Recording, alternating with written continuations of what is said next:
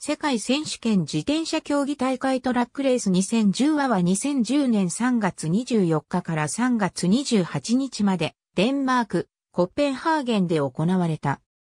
男子個人スプリント男子競輪男子、チームスプリント1から4位選手の予選タイムは、で表示。5から8位の成績は、予選時のもの。40km ポイントレース 50km マディソン 4km 個人、追抜け1から4位選手の予選タイムは、で表示。5から8位の成績は、予選時のもの。4km 団体追抜け1から4位選手の予選タイムは、で表示。5から8位の成績は、予選時のもの。